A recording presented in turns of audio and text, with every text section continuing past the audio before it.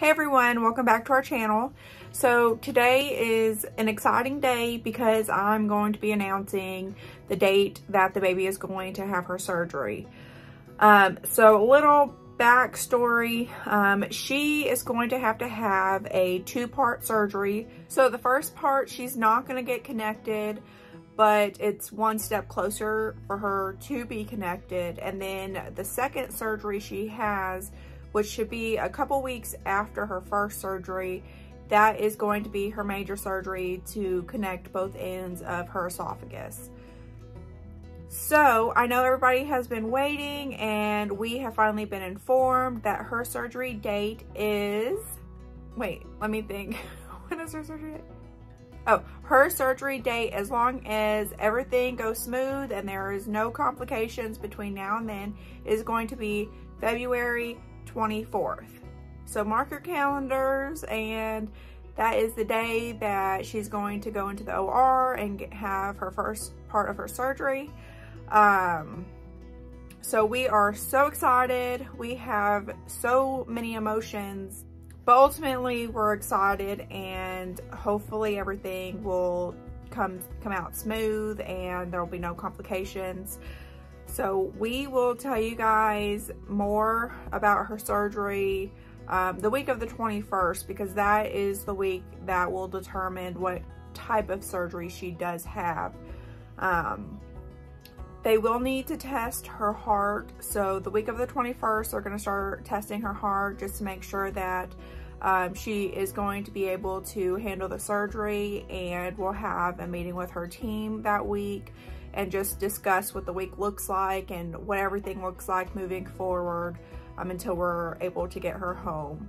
So we do have still a projected time frame. It's still going to be, they said about two months before she can come home after she has her surgery. So two months, um, hopefully she'll be home and um, we will not have to worry about her going back to the NICU or anything like that. Um, there's multiple things they have to do after she is connected. They'll have to do dilations and what the dilations, what that is, it is kind of like a balloon type thing that they put down her, her throat into her esophagus and where those two ends were connected, they puff up the balloon and they just dilate that area just so that that area doesn't start to narrow after her connection. So, uh, but we'll go in more depth and stuff like that in a couple weeks whenever we have everything outlined with her team on um, what kind of surgery they're going to do and, and everything. But we have a date, so hopefully it doesn't change and hopefully that that is her date. Uh, so February 24th. So I will be wearing her Karoline Crew shirt. I'll show you guys.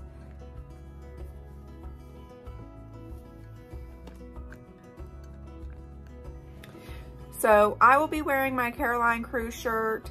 Um, so if whoever has ordered one or bought one that want that they want to wear it that day, they can. If you want to wait until her big connection surgery, you can wait till that day. Um, I'm going to wear them both days just because it's a huge day um, for our family. Both of those days are. So I am so excited and I cannot wait. It feels like we are so close to the end and we almost have her home and I am just, I cannot wait for that day. So make sure to like and subscribe. I am going to be recording the day of her surgery as much as I can and I will record her um, post-surgery as well and, and her recovery. So make sure you subscribe so you can stay up to date with when we post and push that bell notification button. So I will stop talking and I will be back next time.